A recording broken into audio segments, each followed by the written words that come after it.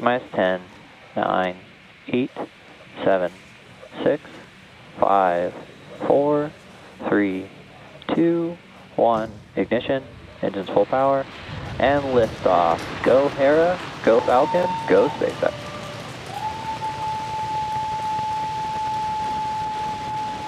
Vehicle is pitching downrange. Stage 1 propulsion is nominal.